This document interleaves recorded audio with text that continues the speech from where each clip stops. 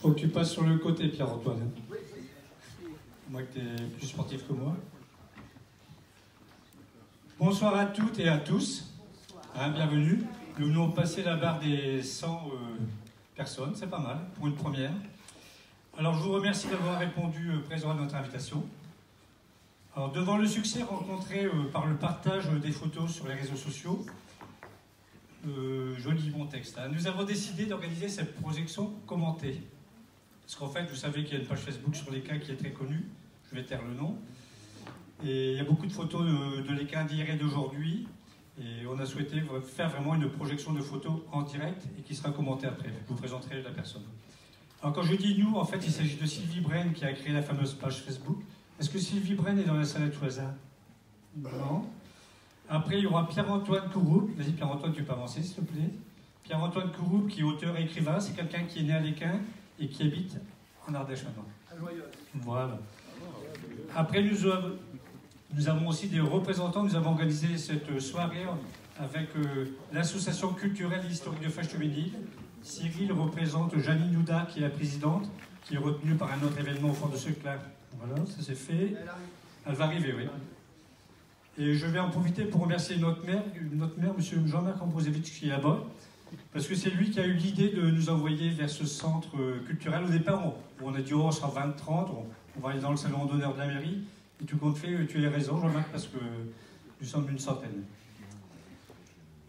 Alors avant de passer la parole au représentant de l'association, Cyril, euh, je vais vous expliquer un petit peu le déroulement de la soirée. Première partie, on fait une projection de photos commentées par Pierre-Antoine. Pierre-Antoine sera placé derrière vous. Donc les photos, il y en a combien, Pierre-Antoine? 480, il me semble. Donc il y aura une photo à peu près toutes les 10 secondes. Hein. Ce qu'il faudra faire, c'est poser vos questions dans une deuxième partie. Et en troisième partie, Pierre-Antoine se propose de dédicacer. Il a écrit deux livres. Donc il propose de vous les vendre et de vous les dédicacer. Voilà. Euh, je passe la parole, donc je souhaite une bonne projection à toutes et à tous. Et je passe la parole à Cyril Glorieux de l'association de l'association culturelle et historique de Fâche-Téménil. Merci Pascal. donc bonsoir messieurs dames. Euh, donc, euh, comme Pascal a dit, je remplace pour ces mots notre président d'association, Janine Oudard, qui est prise pour l'instant au fort de Seclin pour une interview. Et elle devrait venir nous rejoindre en cours de conférence. du coup, en cette qualité, je remercie encore la mairie de l'ECA, Pascal Godin également, de nous avoir permis de faire cette conférence ici et euh, aussi pour l'engouement par rapport à la page Facebook en question. Euh, je vous présente un petit peu notre association, euh, l'association culturelle historique de Fèche-Tuménil. nous, sommes un, nous sommes un groupe d'historiens locaux, de passionnés, et notre but c'est de récupérer des, des, histoires, des témoignages oraux ou verbaux, dans le but de pouvoir les confronter, de pouvoir les retransmettre après pour la postérité parce que, euh, comme Nietzsche a dit, l'homme d'avenir, c'est celui qui a la mémoire la plus longue. Et la mémoire, c'est un voyage à travers le temps et l'espace. Et ce soir, ce voyage, eh bien, notre membre euh, Pierre-Antoine Corouble va nous le proposer. Euh, comme Pascal a dit, Pierre-Antoine est natif de l'Équin, désormais maintenant expatrié en Ardèche, il a également écrit le bouquin sur euh, l'aéroport, ex-aérodrome devenu aéroport international de l'île Léka. Et euh, quand il revient de temps en temps chez nous, il vient nous présenter euh, le fruit de ses travaux, sa passion et ses connaissances. Du coup, nous vous souhaitons une bonne conférence. Et je te passe à présent la parole, Pierre-Antoine, que l'on peut applaudir bien fort pour l'encourager, s'il vous plaît, messieurs dames.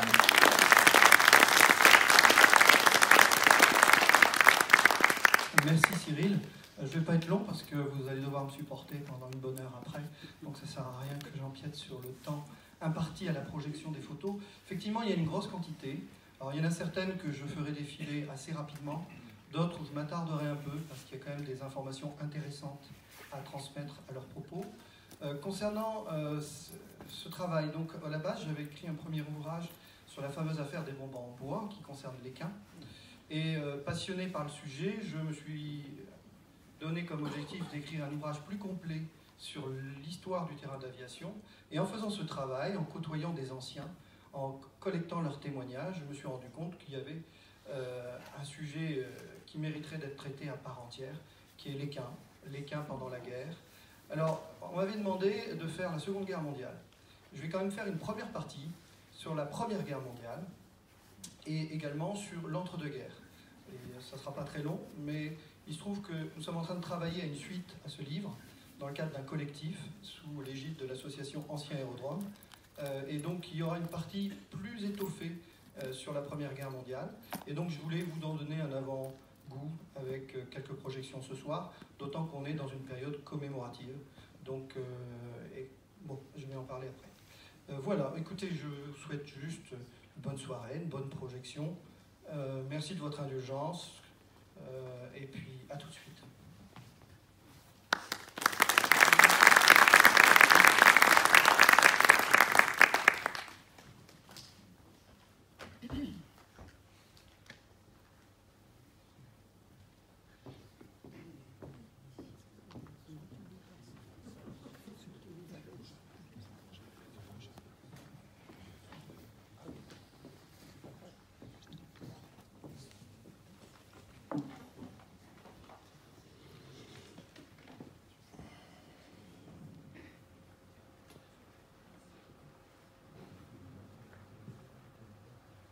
Alors, nous allons donc commencer, euh, je ne sais pas trop près du micro, par euh, remonter le temps. Ici, on a une vue aérienne de l'Équin en 1932. On voit ici le parc du Château d'Andrin. Voilà maintenant l'aspect actuel, pour vous faire une idée de l'évolution urbanistique, vous vous en doutez. Voici le sud du terrain d'aviation du village, avec une commence à empiéter sur les zones du terrain d'aviation et on voit notamment ici le bois d'Anchemont qui va faire l'objet de mon propos liminaire. Car ce bois d'Anchemont nous renvoie directement à la Première Guerre mondiale. Voici l'aspect en 1932. Vous pouvez considérer qu'en 1932, c'était le même aspect qu'en 1918, donc durant la Première Guerre mondiale, et aussi le même aspect au début de la Seconde Guerre mondiale. Alors, quand j'ai fait mon travail sur l'équin, j'avais juste une information par Bernard Bonte, qui, avait trouvé un courrier en mairie d'un ancien secrétaire de mairie qui se plaignait de la fatigue de l'entretien du terrain d'aviation. Grande surprise, il y avait donc un terrain d'aviation en 14-18 à l'Équin. Et en trouvant une carte de la 17e armée, on trouve effectivement la situation de ce terrain, que l'on voit ici, à proximité du terrain de Ronchin, qui était très actif, et juste à côté du château d'Anchemont. en gros, voici quelle était sa localisation entre Merchin, Gaman, Anchemont et Léquin, le village. Sur d'autres cartes, on découvre euh, des voies de chemin de fer, euh, des cartes euh, anglaises, 1918, avec des dépôts de munitions, notamment un dépôt à Gaman, jusqu'à l'existence, et un autre qui était plus connu euh, sur Péronne. Et en étudiant mieux les cartes, on voit donc le réseau de chemin de fer et également les réseaux de tranchées, c'est les trench maps, les cartes anglaises des tranchées, où l'on voit que les Allemands avaient préparé plein de structures défensives autour de l'île, en continuité avec les réseaux de forts qui ceinturaient l'île, en prévision d'offensives ultérieures s'il fallait que cette zone devienne des zones de combat. Et quand on regarde de près ces cartes, notamment Gaman, franchement, euh, on découvre ces connexions de voies ferrées. Ça, c'est des petits trains à voie étroite qui font un mètre de large. Les grands rails de, voies, qu'on voit ici, la voie de chemin de fer traditionnelle. Et on voit qu'il y a une connexion entre euh, le fort de Fretin, comme on l'appelle, le fort d'Anchemont, et, toute cette zone qui va être la zone euh, du terrain d'aviation. Et sur une des cartes, on a le plaisir de découvrir l'emplacement des hangars, et avec le logo d'un avion.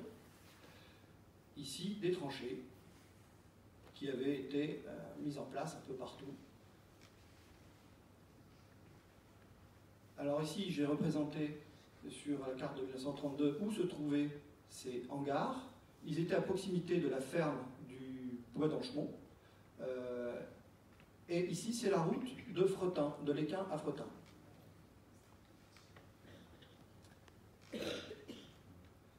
Voici la perspective. Alors, quand on voit le cadastre de 1857, euh, on découvre que le château d'Anchemont avait, il était magnifique d'abord, on va mieux le voir, il avait des dépendances importantes, euh, notamment une orangerie, des écuries, des communs, qui avaient un volume équivalent en surface à celui du château.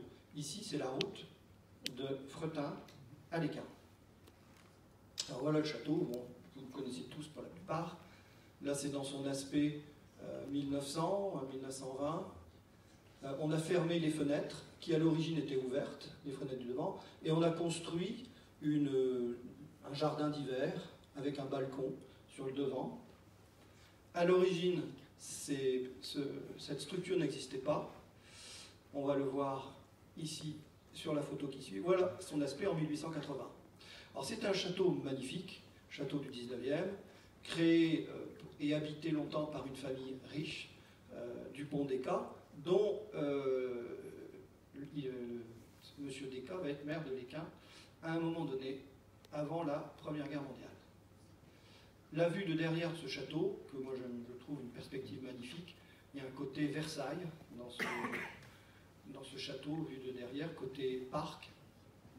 Et sur une photo que j'ai pu trouver sur Internet, on voit ici le chemin de la Drève. Ça, c'est la route qui allait jusqu'au carrefour du Mont. Et on voit ici notamment euh, le garde-chasse, bâtiment du garde-chasse, et tout le parc d'Anchemont, qui ressemblait vraiment à un beau parc. Alors c'est une photo allemande qui a été prise par un lieutenant Pullman, qui était stationné à Entière. Et euh, pour moi, cela faisait partie d'un lot, d'une série de photos. Il avait commencé à mitrailler, et là, je n'ai pu récupérer que celle-là. Je n'ai eu aucune nouvelle des autres. En revanche, grâce à des recherches euh, menées en Allemagne, on a pu tomber sur de nouveaux documents. Ici, on voit la route de Fretin à Léquin, qui était une carrière hein, rurale. Et on voit sur la droite euh, tous ces bâtiments dont on va les voir tout à l'heure en ruine, qui étaient les bâtiments euh, de l'annexe de l'orangerie, des communs, de l'écurie du château. Ici, des soldats allemands. Et on voit bien, sur la gauche, des tentes qui étaient effectivement euh, des, tentes pour le stationnement des, avions. Alors, c'est en fait exclusivement des escadrilles bavaroises. Il faut savoir que la Bavière était spécialisée dans l'aéronautique durant la Première Guerre mondiale, même la Seconde. Et euh, ils avaient donc des escadrilles, euh, des régiments spécialisés dans l'aéronautique. Et à l'écart, ça a été spécifiquement des Bavarois et pas des Prussiens. Et donc, toujours ces, ces tentes qui permettent aux appareils d'être mis à l'abri. Et là, voici un appareil. Alors, ce sont des appareils d'observation. Et en fait, les unités qui ont stationné à Anchemont-les-Quins étaient des unités d'observation. D'où le fait qu'il y a très certainement des trésors photographiques qui ont besoin d'être identifiés euh, en Allemagne pour pouvoir découvrir sous un jour nouveau le château d'Anchemont. On a une autre vue de ces tentes. Alors, petit clin d'œil en passant au Baron Rouge, euh, il se disait, on m'avait dit qu'il s'était posé à l'équin, il n'y a rien de certain en la matière, mais ça n'est pas impossible. Il faut savoir qu'à l'époque, un terrain d'aviation, on s'y posait comme on se pose en ULM maintenant dans des pâtures, et en fonction d'avaries, de, de, problèmes techniques, les pilotes pouvaient se poser un peu n'importe où, mais il était plutôt sur Douai. Donc peut-être s'est-il posé à l'équin, il n'y a pas très loin entre les deux, mais en tout cas on n'en a jamais trouvé la preuve. Alors ici, nous sommes dans la cour d'honneur du château. Sur votre gauche, ici, on voit des, pilastres. Alors l'entrée du château, il y avait quatre magnifiques piliers et une grille, un peu comme il y a au château Barat. à Templeuf, pour ceux qui ça dire quelque chose. On voit ici une partie des communs, et derrière ce, personnage, cet, Allemand, il y a le château, le château Barat. Merci Windows 8. Alors, voici le château, euh, pas château Barat, le château d'Anchemont, euh, en 1915. Il y a un Allemand qui pose, et la référence de ce document photographique fait allusion à un quartier général de l'aviation allemande d'observation. Donc les Allemands avaient bien réquisitionné ce château, et c'était assez classique. Hein. Ils utilisaient un château pour les officiers, pour l'état-major, une ferme à proximité pour tous les moyens techniques d'entretien. Voilà. Alors ce château va connaître de grandes avanies à la fin de la Première Guerre mondiale. Il était dans un état fortement abîmé, qui a fait se poser des questions sur l'intérêt de le, restaurer. Ils vont le faire, les propriétaires. Donc il va avoir, on va dire, un sursis au regard de l'histoire ce qui n'est pas le cas d'autres bâtiments à l'Équin durant la Première Guerre mondiale. Notamment la première gare, car la gare historique qui s'est créée à l'Équin n'était pas celle où elle est actuellement, elle était beaucoup 50 mètres plus, plus haut. Et en face de cette gare, de l'autre côté de la voie ferrée, alors voilà la, gare sous un autre angle, ces bâtiments-là existent toujours, d'ailleurs sur la page Facebook, euh, mon ami Jean-Philippe a fait une très belle reconstitution euh, hier et aujourd'hui de cette zone. Et donc, euh, enfin, de l'autre côté de la voie ferrée, il y avait le bâtiment, alors de, pardon, de l'autre côté, en face, en vis-à-vis de cette gare, il y avait l'usine N Saint-Pierre, donc les aciéries, le panier métallurgique de Lille, que l'on voit ici. Alors effectivement, il y a des enfants. Il faut savoir que ça, c'est une photo d'avant la guerre 14-18. Et les enfants ont travaillé beaucoup euh, dans ce milieu-là la loi le permettait. Après la guerre 14-18, ça va être moins vrai. Il y aura beaucoup plus d'adultes, on le voit d'ailleurs sur les photos. Et de l'autre côté de la voie ferrée, que l'on voit ici, ce grand bâtiment surnommé par les anciens la cathédrale de l'usine Thomson, eh bien, c'est donc tout le secteur des usines Thomson. Usines Thomson qui vont survivre, en tout cas pour cette, ce bâtiment-là, la cathédrale va survivre à la guerre. On voit son état en 1918. Bon, il a pris quelques nions, il y a des carreaux cassés, mais il est toujours debout. Ce qui n'est pas le cas de tous les bâtiments Thomson. On va en voir ici un atelier de, roulage de l'usine Thomson, tel qu'il était juste avant la guerre et tel qu'il sera après la guerre. Donc euh, il y a eu des dégâts. Et euh, en face, l'usine métallurgique. Alors là, voilà son aspect en 14, on va dire, et voici son aspect en 1918. Alors c'est d'autant plus interpellant que l'Équin n'était pas du tout une zone de combat. Donc on ne peut pas dire, oui, la guerre, les Non, ça a été euh, sciemment du sabotage pour détruire l'appareil industriel et nuire euh, le plus possible économiquement euh, à la France. Alors, il y a quelque chose, une anecdote très étonnante qu'un ami breton que je tiens à remercier, Jérôme Gross, qui contribue au travail d'écriture de la suite du livre sur les qui m'a pointé, c'est qu'on peut trouver à l'heure actuelle un bâtiment de la Thomson en parfait état. Le voici en dessin d'époque. Ce bâtiment, figurez-vous qu'il est, là on en voit une vue intérieure avant-guerre, eh bien, il existe, le voilà, ce bâtiment, Mais il n'est pas à l'Équin, non. Il est en Allemagne, à Spire, car en 1915, les Allemands vont jeter leur dévolu sur ce bâtiment et pour le démonter pierre par pierre, poutrelle par poutrelle, et le remonter, le remonter à Spire, pour en faire une usine, euh, d'ailleurs consacrée à l'aéronautique. Alors c'est quelque chose qui se faisait à l'époque, d'ailleurs ça se fait toujours, il y a des Chinois qui démontent des châteaux pour les remonter en Chine. Euh, on a démonté la gare de Paris du Nord pour l'installer à Lille, il faut savoir. Donc ce bâtiment existe à l'heure actuelle, et il est un musée qu'on peut tout à fait visiter, un musée consacré aux techniques alors, dans ces ateliers se construisaient les avions euh, allemands engagés durant la Première Guerre mondiale par la firme Spatz, et également, durant la Seconde Guerre mondiale, les Heinkel 111, ceux-là même qui vont venir se poser sur les pistes de l'écart.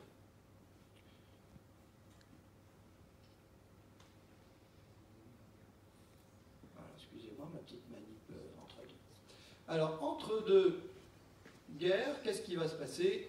Il faut savoir que le terrain d'aviation actif, c'était Ronchin. Ronchin, au pied euh, des remparts hein, du sud de l'île, était un terrain reconnu comme aérodrome public, où s'organisaient des meetings aériens avec énormément de monde, on peut le voir la foule qui est là, et qui se voyait avoir une vocation internationale. Ronchin développait des lignes avec les principales capitales d'Europe. Sauf que Ronchin avait un gros handicap, les pistes étaient pas très longues, étaient délimitées par des industries, des cheminées, donc elles étaient même dangereuses. Donc il fallait construire un aéroport civil. Et on peut dire que pendant 20 ans, il va y avoir une guerre entre les chambres de commerce, qui à l'époque n'étaient pas unifiées, entre la chambre de commerce de Tourcoing, de Roubaix, de Lille, et puis euh, de Marc-en-Barœul, chacune voulant bien sûr avoir son aéroport sur son territoire. Et finalement, une synthèse va se faire en 1936 qui va être de dire, ils vont l'appeler, euh, une notion de synthèse, l'aéroport des quatre villes, et il devait être à Bondu, euh, tel qu'il est actuellement. C'était un aéroport dont les plans avaient déjà été élaborés, avec des pistes en croix, et une très belle infrastructure d'embarquement qui ressemblait à un oiseau, avec un profil qui rappelait un peu d'ailleurs l'aéroport de, Marseille. Pour l'époque, c'était vraiment le grand luxe. Mais voilà, ils, arrivent à se mettre d'accord en 1936-37, et la guerre arrive. Et euh, l'aéroport des quatre villes ne verra jamais le jour. Finalement, il va se faire à Léquin. Alors Léquin, en 1935, euh, le ministère de la Guerre décide de créer ce qu'on appelle une plateforme. Alors une plateforme aérienne, c'était un concept militaire pour dire pour faire face à la guerre, on manque de terrain d'aviation.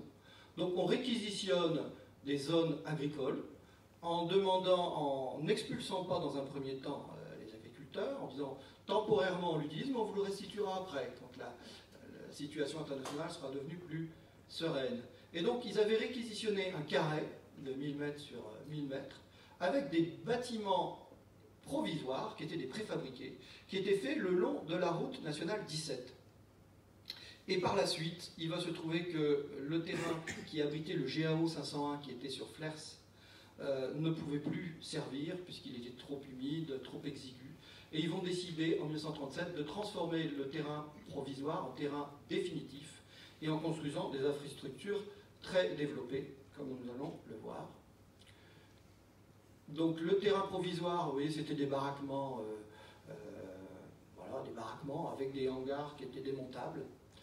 Le grand café qui était à proximité immédiate de la base, c'est le café de la Pissatière, qui est toujours debout. Et ici, on voit les, anciens propriétaires, avec un pilote de l'armée de l'air française, là.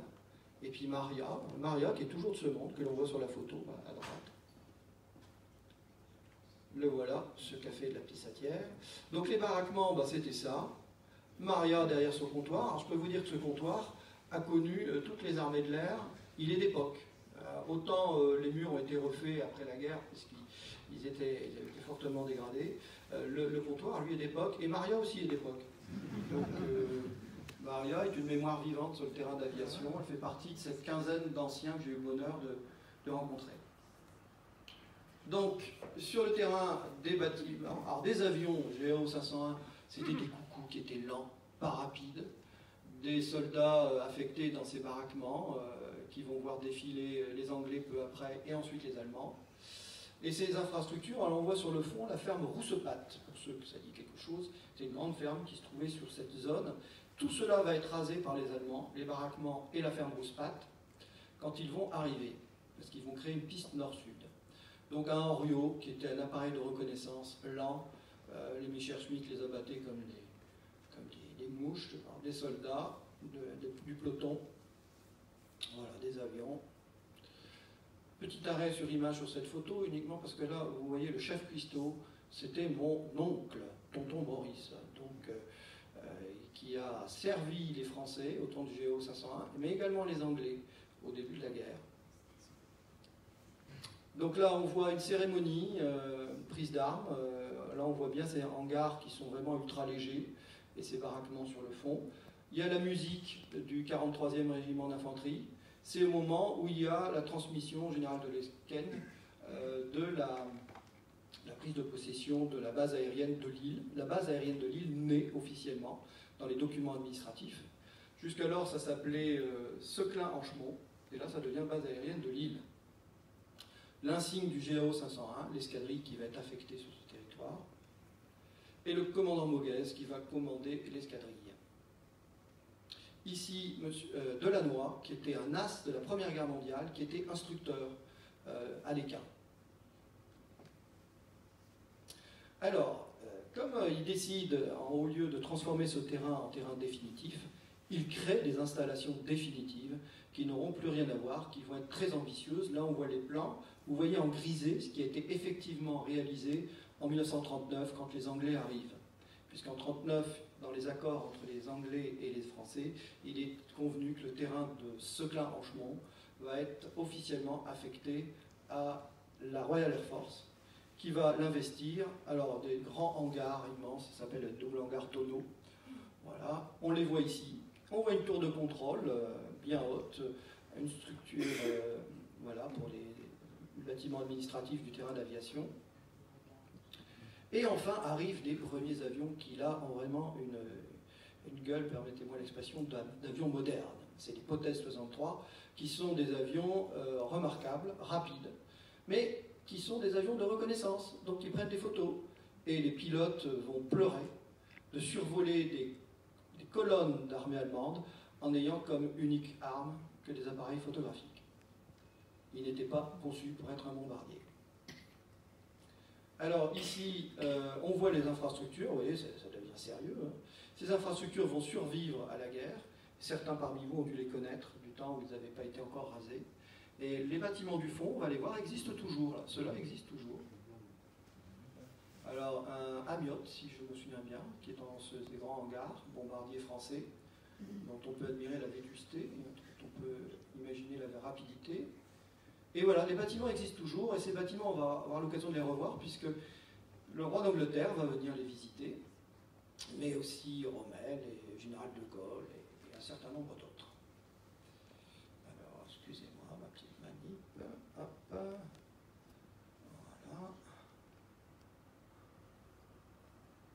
Alors, la période anglaise, euh, elle commence durant, euh, dès le début de la déclaration de guerre, hein, en 1939, et euh, à l'Équin, c'est le château d'Angrin qui va être investi. Il va être investi par euh, l'autorité militaire euh, qui est commandée par le colonel, à l'époque il était colonel, Montgomery. Et il va prendre ses habitudes à l'Équin, il va sympathiser avec la population tous les jours. Bernard Montre rapporte dans son livre qu'il avait pris l'habitude d'aller à pied sur le terrain d'aviation, il faisait sa, promenade, et il était donc dans ce château. Ici, on voit une invitation avec les armes de, son, Montgomery sur le drapeau, une invitation euh, adressée à des notables de l'Équin. Ça, c'est un document aussi que je dois à Bernard Montt. Alors, l'escadrille, deux escadrilles, des squadrons, euh, de mémoire la 87 et je ne sais plus laquelle, vont s'installer sur l'Équin, et là, c'est du matériel moderne. Ce sont vraiment des, le, mieux qui sont à même de tenir la dragée haute au Schmidt allemand, c'est les Hurricanes, euh, que l'on voit ici en train d'être chargés. Toutes ces photos sont de l'équin. Hein. Euh, il n'y en a que deux qui ne sont pas de l'équin, le moment venu, je vous le dirai. Mais tout ce que vous allez voir sont des vues de l'équin. Alors le problème de l'équin, déjà, il se pose très vite, c'est que nous sommes sur un plateau calcaire, il y a de l'humidité, c'est un vrai château d'eau hein, en dessous. Et euh, eh bien, dès qu'il y a de la pluie, les avions s'embourbent et ratent des fois leur atterrissage. Alors l'Équin va euh, avoir le privilège d'avoir les premières unités d'observation qui vont faire des vols sur l'Allemagne. Ceci est un avion très particulier qui était entièrement équipé de caméras, aucun armement et qui avait une réputation de rapidité pour faire des missions de survol sur l'Allemagne. Et celui-ci était un petit peu l'avion furtif de l'époque, dans une livrée euh, vert euh, olive, aucun, aucun, armement, toutes les caméras, et il échappait à l'observation aérienne et il avait fait des missions sur la ville euh, de. Euh, euh, bon, je ne sais plus laquelle, enfin, ici, voilà un retour de mission. Ici, l'intérieur d'un baraquement, maintenant, c'est les Anglais qui l'occupent. Et c'est Noël, Noël 1939. Il y a un sapin à gauche. Les travaux se terminent dans le cadre de la présence anglaise. Et en décembre 1939, l'Équin reçoit la visite du roi d'Angleterre, qui vient inspecter ce détachement, qui était donc basé à l'Équin. On peut dire que dans le nord, c'était le seul aérodrome à avoir ce niveau d'équipement et à avoir également des escadrilles aussi performantes. Le roi d'Angleterre qui salue, on reconnaît les baraquements sur le fond, les, hangars. toujours le roi d'Angleterre. Alors, je me suis un moment interrogé parce que des articles de presse rapportent qu'il a reçu des visites, il a reçu des officiers dans un château situé à proximité, qui avait déjà été occupé durant la Première Guerre mondiale, où on voyait des traces sur les arbres, et je me suis demandé un moment si c'était pas le château d'Angrin. Mais apparemment non, c'est plutôt le château de Fretin, euh, qui hébergeait à l'époque euh, le, QG de la force aérienne. Alors juste une petite note là, de Vandeville, on voit que le 24 décembre 1939, le commandement de la compagnie de l'air, donc c'est l'armée française, euh, dans laquelle il y a mon oncle, invite les autorités civiles dans une salle des fêtes, qui prouve bien que quand les Anglais sont là, les Anglais volent, mais le personnel au sol est toujours français. Alors l'escadrille du GAO 501 est partie pour aller euh, sur euh, la côte de, Dunkerque, Marnic, euh, sur un terrain provisoire. Ils leur ont laissé la place. Alors il y a une anecdote bien connue par les anciens. au moment de cette période troublée, de la drôle de guerre, le préfet du Nord, Karl, était en manque de liquidité. Et il avait fait demande donc, au ministère des Finances pour qu'on lui fasse parvenir de l'argent. Et à l'époque, deux appareils avaient décollé qui étaient fraîchement arrivés des États-Unis, qui étaient ces bombardiers euh, de, euh, du nom, euh, Douglas, je ne sais plus le nom, bref. ces deux bombardiers n'étaient pas bien identifiés par les, les unités anti-aériennes. Ils étaient remplis de billets et arrivés au-dessus du terrain d'aviation, donc ce, beau bombardier, ils se sont fait tirer comme des lapins alors il y en a un qui a explosé, qui s'est scratché, enflammé sur le zen, et un a atterri à Gaman, avec, euh, ayant été touché en plein vol, des liasses de billets qui sont tombés du ciel comme de la neige. Et ici c'est la tombe des pilotes qui étaient à un moment euh, le long de la voie ferrée, on voit la ferme, de Gaman. Et la légende, enfin c'est pas une légende, c'est une réalité, je crois que maintenant on peut le dire, rapporte que des ouvriers agricoles qui étaient dans cette zone avait ramassé moult euh, sacs de billets. Et euh, cet argent n'avait donc pas été perdu par tout le monde, puisque après-guerre, on a vu certaines familles faire l'acquisition euh, du jour au lendemain de commerces prestigieux. Donc il s'est dit que peut-être ils avaient reçu sur la tête un sac qu'ils avaient peut-être oublié de le signaler aux autorités. Voilà, les billets de 100 francs de l'époque, alors, à l'arrivée des Allemands, euh, le terrain est en piètre état, parce que les Allemands ont quand même bombardé. Vous voyez dans quel état sont les fameux hangars tonneaux de l'Équin quand les Allemands arrivent. ils sont en mauvais état. Hein. Et ça, c'est les, bâtiments provisoires, qui ont moins reçu d'impact que les bâtiments définitifs.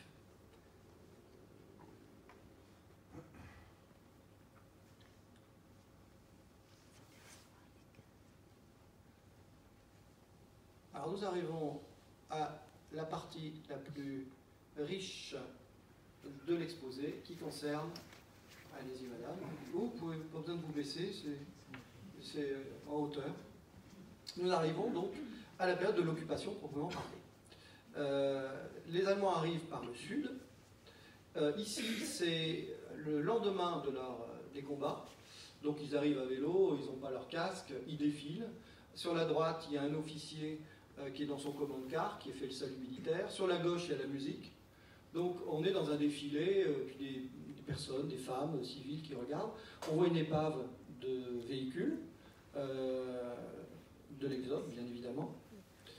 Alors les Allemands prennent possession des lieux, et bien sûr, en premier lieu, ils prennent possession de l'aérodrome stratégique, où règnent quelques épaves.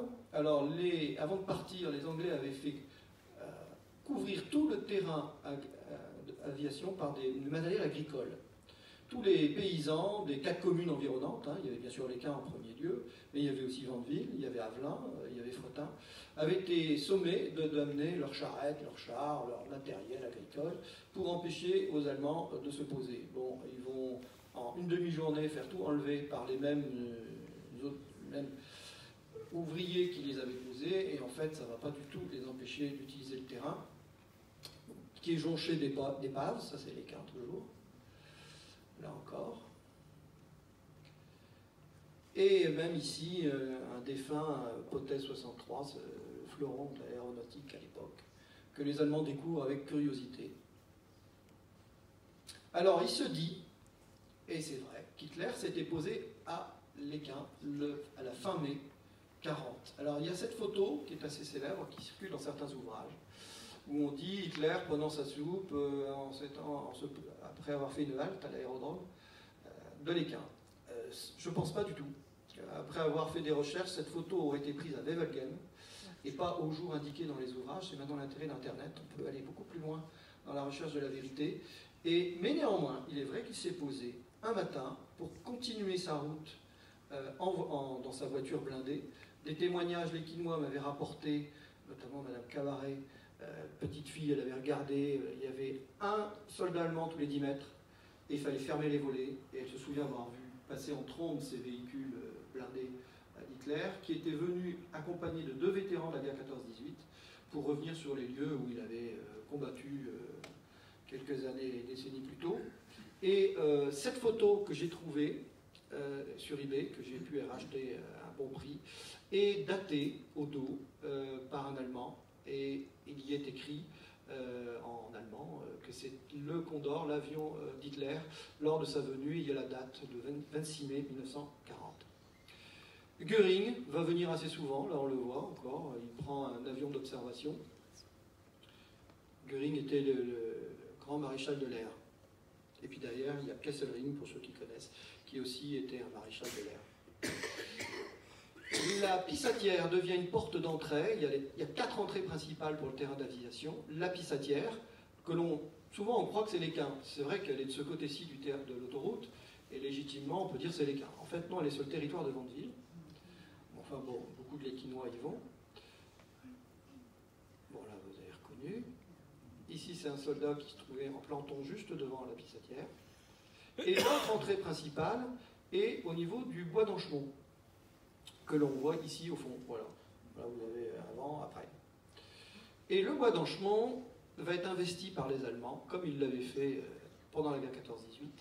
Il y avait cette fameuse, euh, ce bâtiment du garde-chasse, ou relais forêt, relais de chasse, c'est un relais de chasse, qui vont euh, aménager avec des murs que l'on voit ici, qui vont rehausser et des mitrailleuses pour en faire une place fortifiée.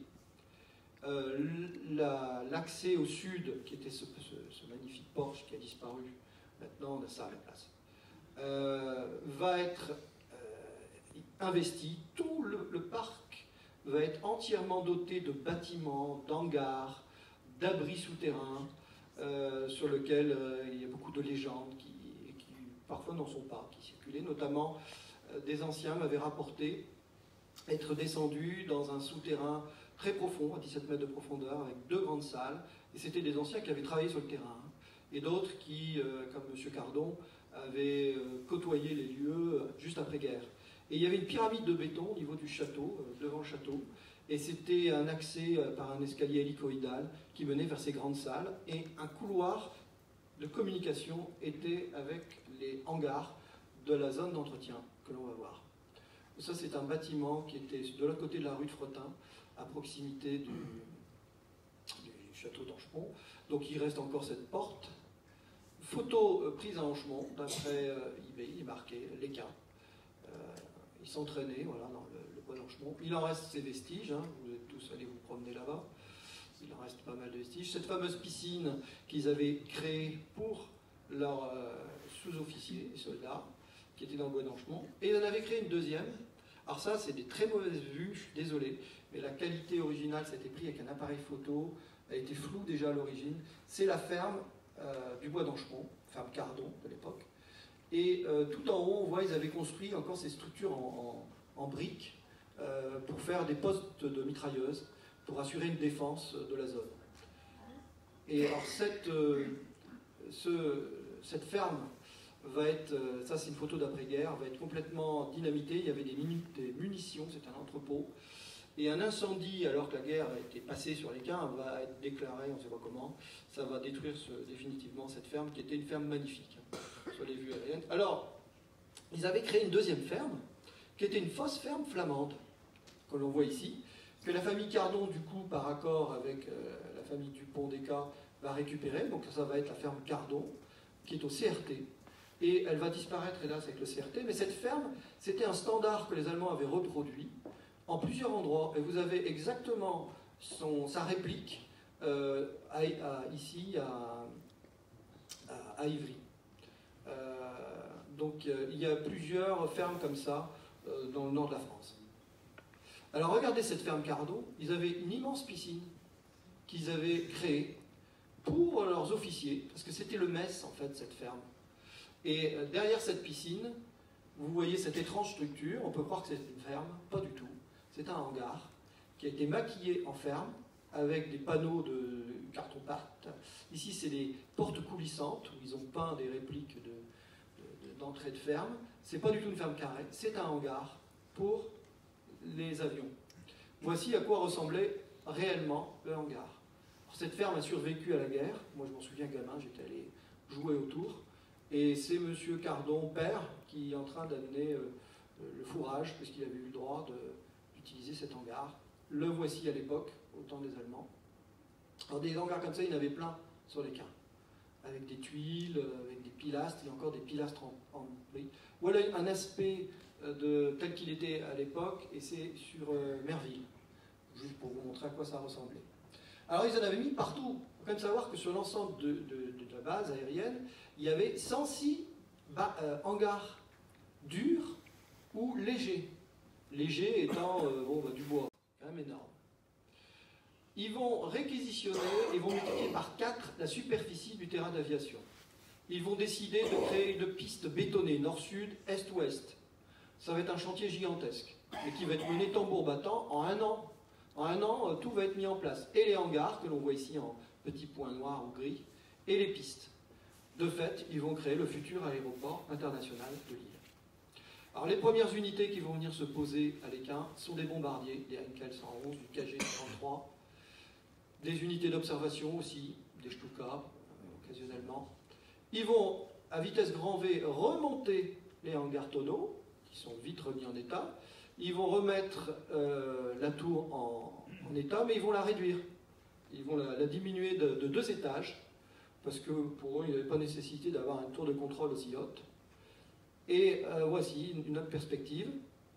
À l'intérieur, eh ben, on répare les avions de ces grands hangars tonneaux. Ils étaient gigantesques, hein, ces hangars tonneaux. Voilà, là, ils sont en train de remettre en état des moteurs d'un Heinkel. Et là, c'est une vue extrêmement rare où l'on voit qu'à l'époque, le poste de commandement de, l'ensemble du terrain d'aviation se trouvait là. Et on le sait en consultant des spécialistes qui analysent cette photo et qui voient que les antennes qui sont mises au-dessus, les baraquements qui sont mis au-dessus, témoignent que tout partait de là. En fait, ça, on est en 40-41. Et à l'époque, ils pensaient qu'ils allaient gagner la guerre. Ils pensaient qu'ils maîtrisaient le ciel. Et à partir de 41, quand ils vont se tourner vers la Russie, ils vont revoir leur euh, stratégie ils vont se rendre compte que ce n'est pas judicieux de garder leur poste de commandement là, euh, même où il y a les, la zone d'entretien, et ils vont le déplacer dans un premier temps vers la Pissatière, on en verra une photo tout à l'heure, et dans un second temps au Moulin de l'Équin, que l'on va voir tout à l'heure. Donc ici, c'est l'arrière du poste de commandement.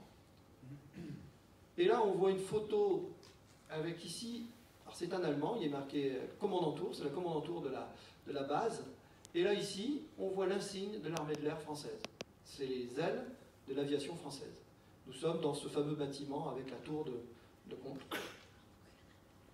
Une autre vue, justement de 43, où là, on voit qu'il n'y a plus les bâtiments dessus. Ils les ont enlevés, il n'y a plus les antennes non plus. Ils les ont déplacés pour les mettre à l'extérieur du terrain d'aviation. Alors, après les bombardiers, à partir de 42-43, sont des unités de chasse, la JG la JG-26 qui vont venir s'installer à l'écart. Des avions de chasse et ce fameux Focke-Wulf 90 qui était le nec plus ultra du chasseur bombardier puisqu'il était capable de faire des interventions rapides et également des missions de bombardement. Là on le voit avec une bombe sous son aile. C'était vraiment ce qui se faisait de mieux en hélice à l'époque du côté allemand. Et donc une escadrille, va, plusieurs escadrilles vont stationner à l'Équin à l'époque et mener des interventions de lutte contre les bombardiers qui venaient attaquer l'Allemagne par voie aérienne. Et à la tête de cette escadrille, le numéro 13, que l'on voit ici, que l'on va revoir après, qui était commandé par Joseph Priller. Alors dans cas, que se passe-t-il? Eh bien cas est un casernement général, euh, comme d'autres communes, hein, comme Vandeville, comme Fretin, comme euh, Avelin, Entière. Mais là, quand même plus qu'ailleurs Euh, et on va vite s'en rendre compte. Euh, ici, c'est une photo allemande qui a été prise par un soldat allemand en 1940.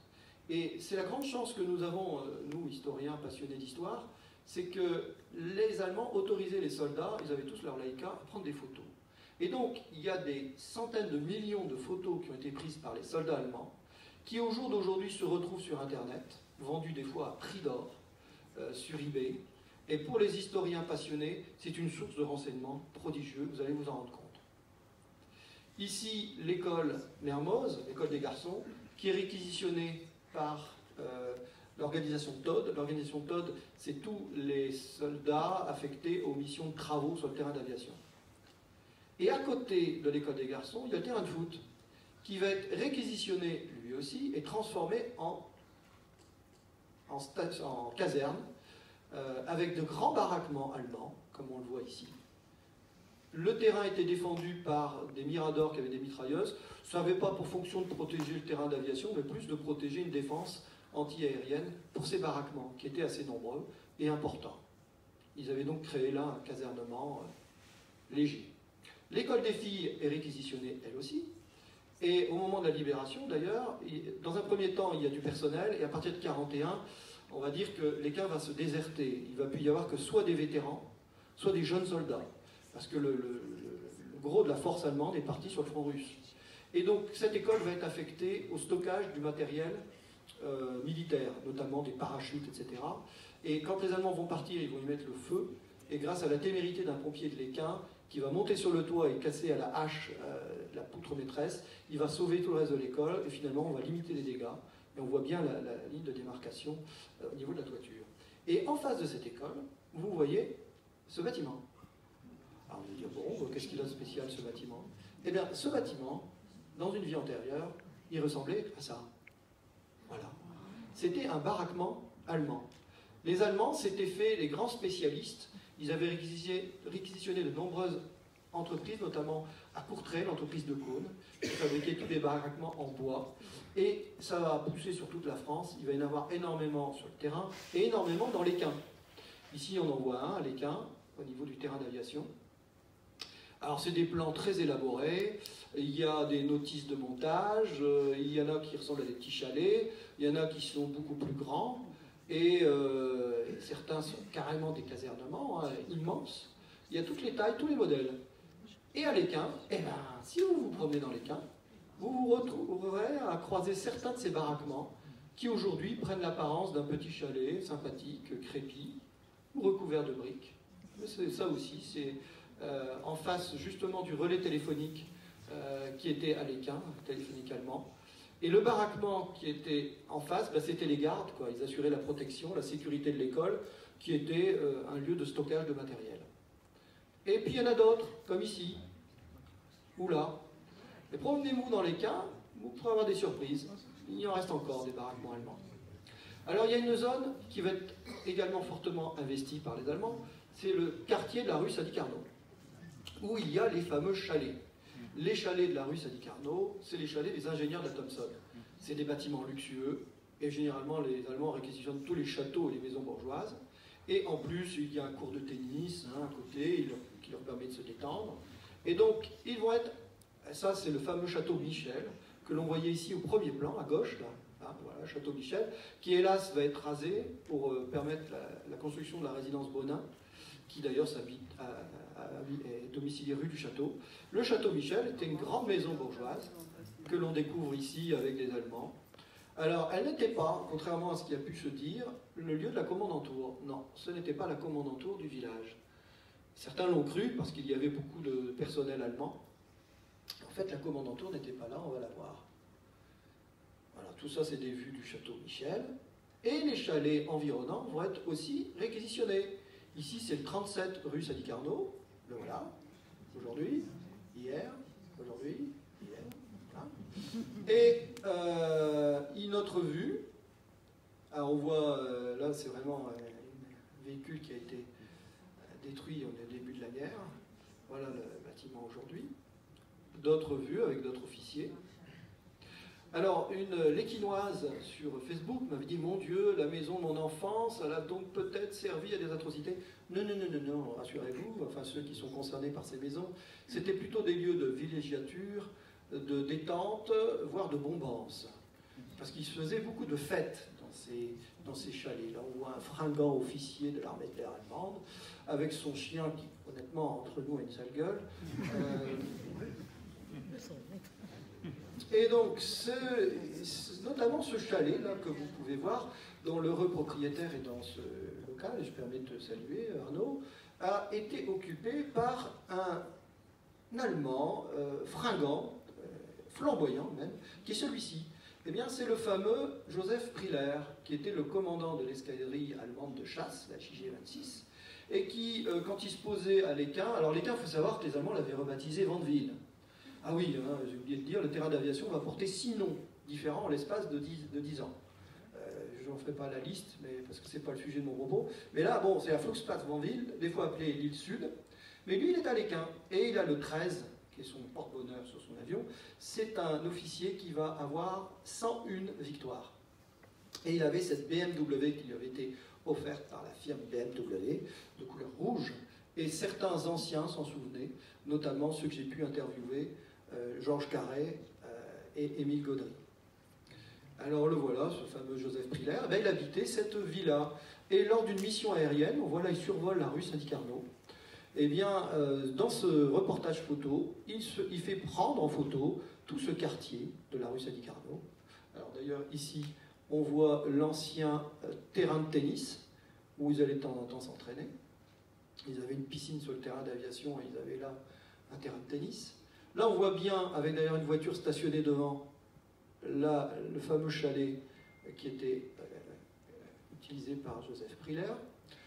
Alors on peut dire pourquoi Priller avait un chalet plus petit. Ben, en fait, le, château Michel était un logement collectif. Il y avait beaucoup de monde à bord. Donc euh, lui, il avait l'avantage d'avoir un chalet avec sa serveuse, avec son barman, tout. Et apparemment, il se déroulait régulièrement des fêtes alors là, ici, il survole euh, le centre du village, et on ne le voit pas bien, mais on voit notamment que l'église a bien son clocher. Et il y a des photos plus anciennes encore, enfin plus récentes, on va dire, de 1946 notamment, où on voit que l'Équin avait son clocher. Alors il y a une rumeur qui a circulé, qui a voulu euh, que euh, le clocher aurait été enlevé par les Allemands pendant la guerre. Non, non, pas du tout. Il a été enlevé par les Français au lendemain de la guerre, parce qu'il n'y avait pas les finances pour le remettre en état. Et il y avait même un projet de clocher, de restitution. Euh, Bernard Bonte explique tout cela admirablement dans ses deux ouvrages que je vous recommande, pour ceux qui n'ont pas lu. Donc une autre vue de l'Équin, où l'on voit ici le château d'Angrain, qui va être fortement investi. Alors, parmi les célébrités venues à l'Équin, notamment il y a une réception qui lui avait été donnée dans la salle des fêtes, le cinéma moderne ciné, il y avait cette euh, charmante euh, teutonne Marika Rock, euh, qui était une vedette du cinéma allemand et qui aurait passé une soirée dans le chalet de Joseph Priller, euh, Dutch Qualität. Et après-guerre, elle va continuer sa carrière cinématographique sans être trop inquiétée, elle n'était pas taxée d'être pro-nazi, quoique on peut se poser des questions quand même à cette époque-là. Et alors, en face de la, du chalet Priller, il y a ce bâtiment qui, d'après les témoins d'époque, était en réalité le Horst Kommandantur. Alors, Horst Kommandantur, c'est une commandature locale. C'est tout simplement un bureau administratif que les gens du village, dans toutes les communes, il y avait le Horst Kommandantur, qui était euh, affecté euh, à, tous les problèmes de, cohabitation entre les forces occupantes. Dès qu'il y avait un casernement dans une ville, il y avait une Horst Kommandantur. Je peux vous dire que celle de Fretin, qui a été bien identifiée, elle est toute petite aussi, ça n'a rien de grandiose. Euh, alors, à, elle était un peu plus grande quand même, c'était une belle bâtisse. Mais c'est uniquement pour résoudre tous les problèmes administratifs. Il faut savoir que les autorités allemandes payaient des loyers pour l'hébergement de certains. Euh, il y avait des tas de choses qui devaient se résoudre. Et euh, apparemment, donc elle était là. Et voici le tampon hors commandantour l'Équin. Alors, pas loin de l'Équin, il y a la rue Victor Hugo. Là, on voit la ferme taillée. Et au fond de la ferme taillée, après la ferme Vandenamel, on découvre la maison ou couvent, enfin c'est les maisons des sœurs franciscaines, que les Allemands vont réquisitionner.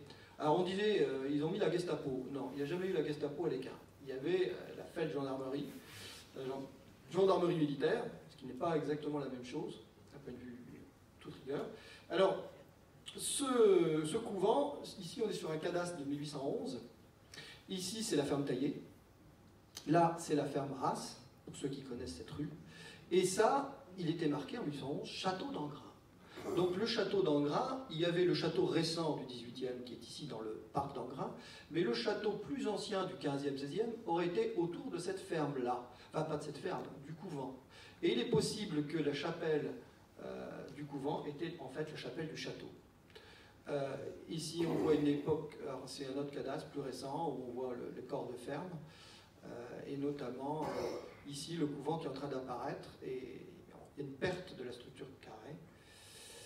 Alors, vue aérienne de 1932, on voit bien le couvent en entier, avec son église, sa chapelle, pardon, et des corps de bâtiment, et un cloître ici à l'intérieur, fermé.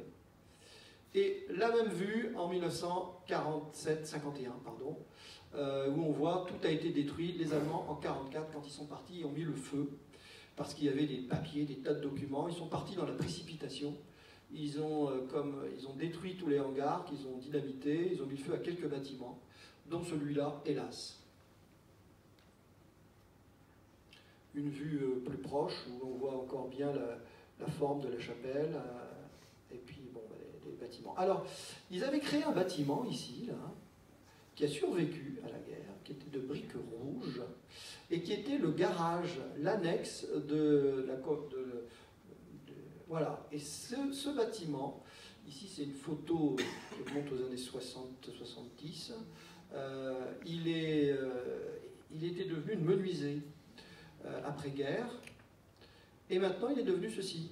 Et il a été créé intégralement dans le, mur. Alors il a été allongé hein, de chaque côté. On voit bien d'ailleurs, il y a une rupture de la, toiture. Mais au départ, c'était un bâtiment allemand.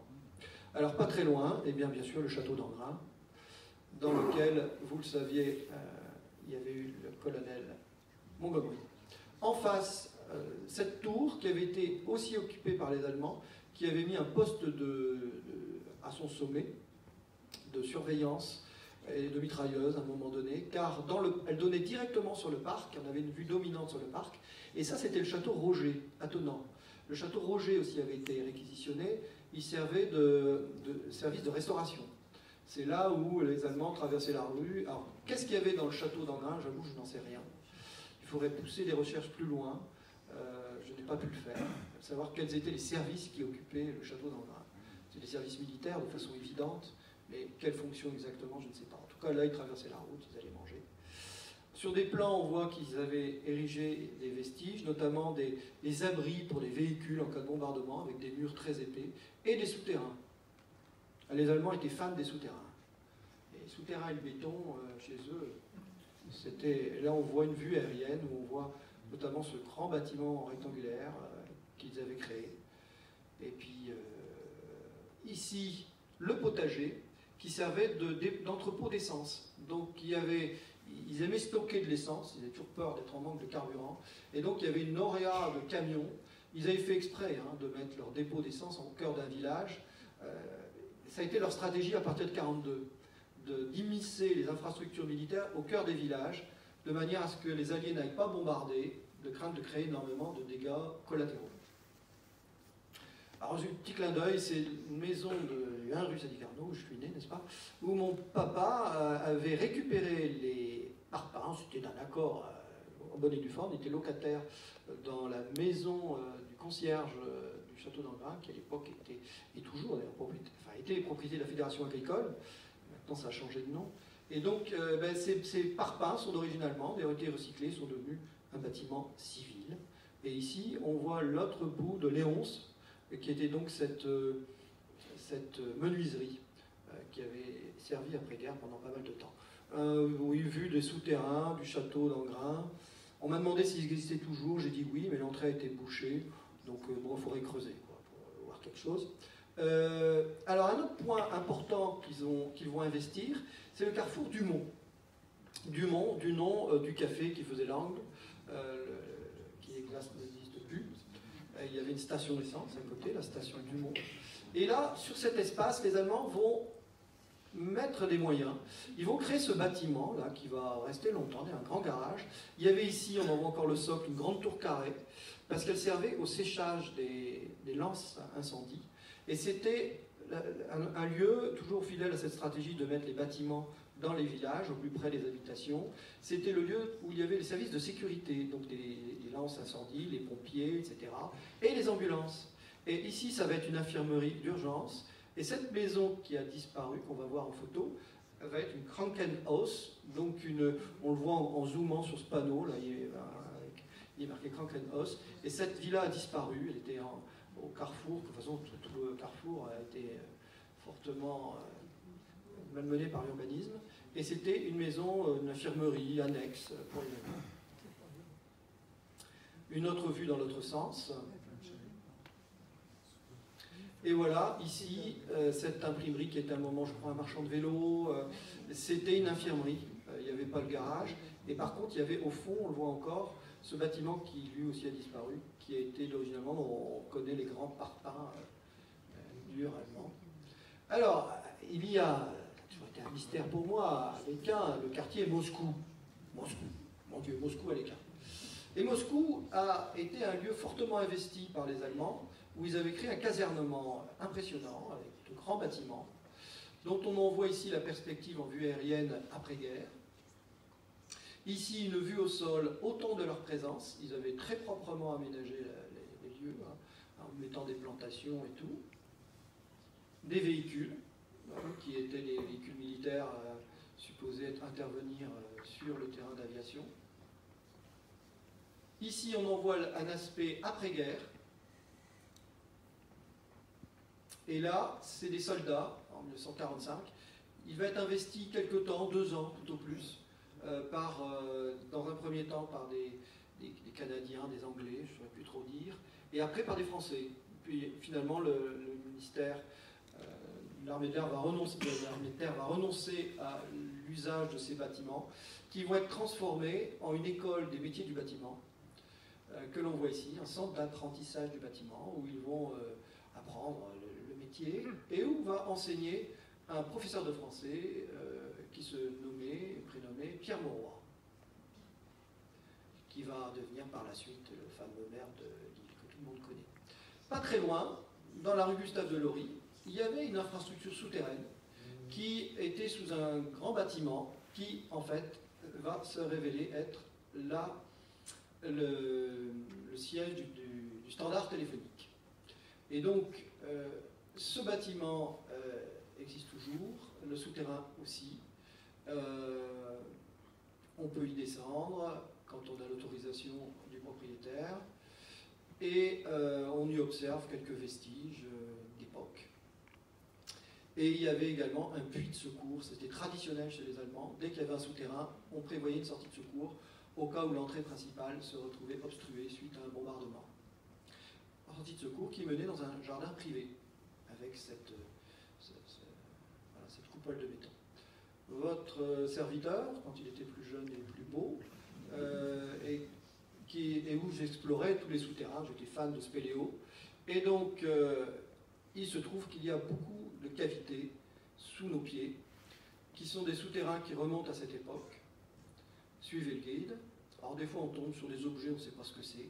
Bon, ça devait servir à quelque chose. Des fois, on tombe sur des objets qu'on sait ce que ça peut être, notamment ici un tableau électrique. Les Allemands faisaient passer toutes leurs gaines, plomberie, euh, eau, chauffage, euh, électricité, euh, téléphone, câble, parfois souterraine bien évidemment. Ici, on est dans une grande salle qui se trouve en dessous d'un hangar, enfin, un bâtiment de la zone d'entretien du terrain d'aviation, et un départ d'un souterrain qui menait vers le bois d'Anchemont, vers ce fameux euh, souterrain à 17 mètres de profondeur, qui hélas, quand on s'y engage plus loin, bah, il s'est bouché. Et dans l'autre sens, euh, c'est pareil. Voilà. Oui, c'est un peu le problème.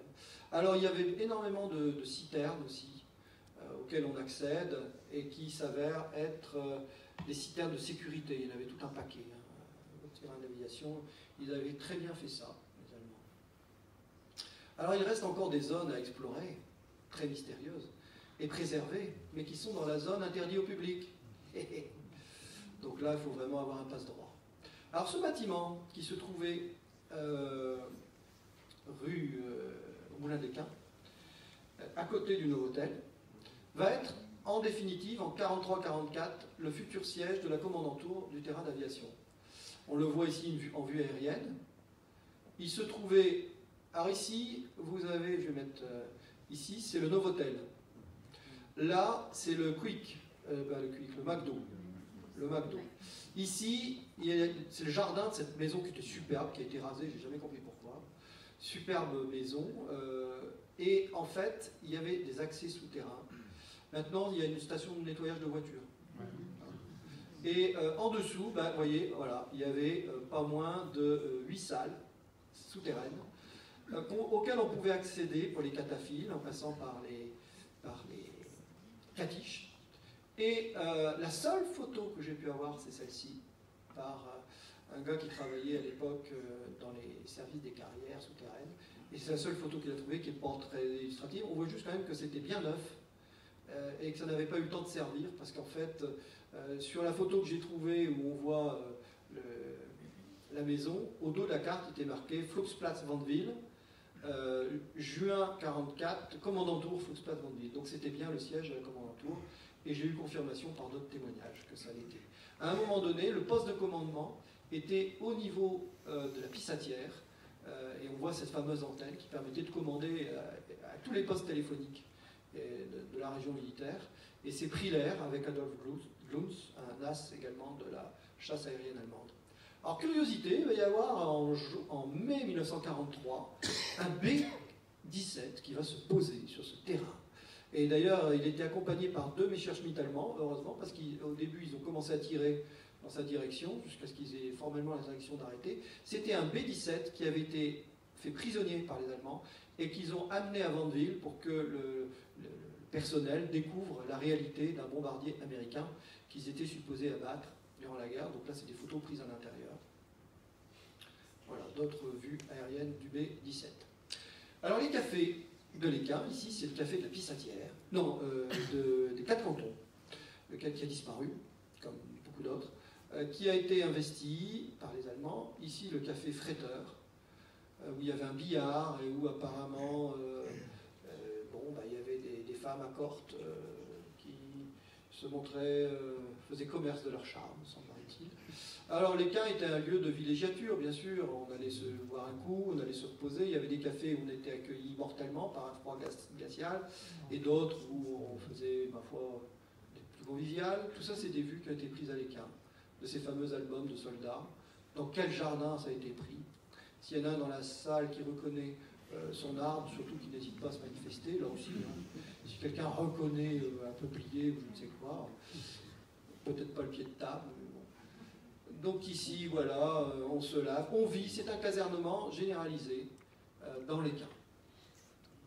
Alors, il y a la zone industrielle, avec les industries N Saint-Pierre et la Thomson. Et alors, je vous avais dit tout à l'heure qu'à la fin de la guerre 14-18, ces bâtiments avaient souffert. Eh bien, à la fin de la guerre 39-45, euh, quasiment pas. Euh, ça a toujours été un mystère. On m'a dit que euh, des pressions américaines avaient été exercées sur le commandement, parce qu'ils ont quand même bombardé l'usine N Saint-Pierre de Belgique, mais pas celle de l'Équin et que des pressions auraient eu lieu parce qu'il y avait à côté euh, l'usine Houston, euh, Thomson Houston, qui était propriété américaine, et que tant qu'à faire, ils n'avaient pas trop envie de voir leur matériel, leur outil de travail euh, abîmé. C'est quand même un paradoxe parce que c'est des usines qui tournaient à, fond, hein, plein régime, pour la force occupante. Notamment, N Saint-Pierre fabriquait des pièces pour les chars Tigre. Et ici, Michel de Grise pourra confirmer, il avait été, même après-guerre, il avait vu encore des pièces notamment des pièces de protection, je crois, de, chars, qui étaient encore dans la cour, qui traînaient. Donc ça a été quand même une activité industrielle euh, très impliquée. Avant-guerre, ils fabriquaient déjà ces abris anti-aériens, euh, les acideries de Saint-Pierre. Les Allemands avaient réquisitionné le restaurant de la Thompson pour lieu pour manger. Et ils avaient réquisitionné la porcelainerie. Euh, ici, c'est Thomson. hein, et là, ici, c'était la porcelainerie. Porcelainerie qui vont mettre le feu en 44 quand ils vont partir parce qu'il était entièrement occupé de matériel militaire allemand. Et donc, euh, oui, il ne voulait pas que ce matériel tombe dans les mains de l'ennemi. Donc la porcelainerie qui était quand même un pôle industriel, j'ai oublié de dire tout à l'heure que le château Roger, que l'on a vu à côté du château d'Angrin, était la résidence du directeur de la porcelainerie. Il s'appelait Monsieur Roger. Alors la gare, euh, qui est la nouvelle gare créée en 1920 et quelques, euh, ben, va connaître une activité quand même, euh, notamment il va y avoir de la DCA qui va stationner là pour lutter contre les bombardements. Et quand on est sur la gare, on remarque qu'il y a une voie de chemin de fer qui part vers le CRT et qui euh, s'arrête. Euh, ben, en fait, elle continuait avant. Et elle allait jusqu'à cette plateforme, au niveau du terrain d'aviation. Car sur la fin de la guerre, le terrain d'aviation va servir, et ça c'est des bâtiments qui ont disparu, va servir d'unité de transformation des épaves, dans lequel avaient travaillé des Léquinois, et notamment euh, euh, euh, Monsieur Carré, Georges Carré, qui a de- des souvenirs euh, assez terribles de ce travail, parce qu'il recevait, il réceptionnait toutes les épaves qui arrivaient en camion, il devait les découper pour les charger ensuite sur des wagons. Donc là, on voit les cars, voilà, les épaves qui arrivent. Et ici, euh, on voit la cheminée, on reconnaît le bâtiment derrière. Otto, euh, ah mince, plus de son nom, c'est un pilote de chasse allemand qui, pose à côté d'une dérive d'un B-17, donc qui a été découpé, qui repart sur des, wagons, et ça allait vers Essen, dans la Ruhr, pour être fondu. Le métal était un matériau précieux pour l'effort de guerre, donc il n'était pas question de laisser perdre la moindre pièce de métal. Et donc, euh, en fait, la, fin peu glorieuse du terrain d'aviation de l'Équin, c'est d'être une usine de retraitement des épaves d'avions.